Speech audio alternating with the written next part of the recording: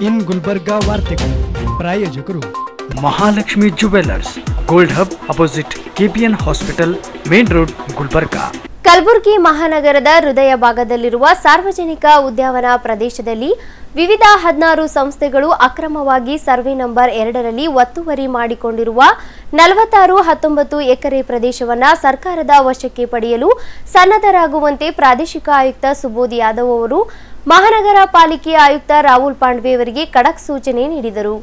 ಮಂಗಳವಾರ ಇಲ್ಲಿನ ಪ್ರಾದೇಶಿಕ ಆಯುಕ್ತರ ಸಭಾಂಗಣದಲ್ಲಿ ಗುಲ್ಶನ್ ಬಾಗ್ ಮತ್ತು ಬಡೇಪುರ್ ಪ್ರದೇಶದಲ್ಲಿ ಅಕ್ರಮ ಒತ್ತುವರಿ ತೆರವು ಕುರಿತಂತೆ ಪಾಲಿಕೆ ಹಾಗೂ ಜಮೀನು ಒತ್ತುವರಿ ಮಾಡಿಕೊಂಡಿರುವ ಸಂಸ್ಥೆಗಳ ಮುಖ್ಯಸ್ಥರೊಂದಿಗೆ ಸಭೆ ನಡೆಸಿದ ಅವರು ದೇವಾನಂದ್ ಸ್ಯಾರಿ ಸೆಂಟರ್ ಕಾಮತ್ ಹೋಟೆಲ್ ಹಿಂದುಗಡೆ ಸೂಪರ್ ಮಾರ್ಕೆಟ್ ಕಲಬುರ್ಗಿ.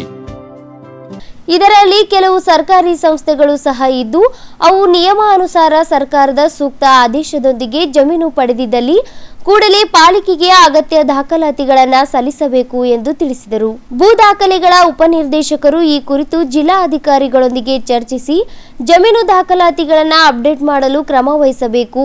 ಅಲ್ಲದೆ ಇದುವರೆಗೂ ನೀಡಿದ ನೋಟಿಸ್ಗೆ ಉತ್ತರ ನೀಡದವರ ವಿರುದ್ಧ ಪಾಲಿಕೆ ಸೂಕ್ತ ಕಾನೂನಿನ ಕ್ರಮ ಜರುಗಿಸಬೇಕು ಎಂದು ಅಧಿಕಾರಿಗಳಿಗೆ ಸೂಚಿಸಿದರು.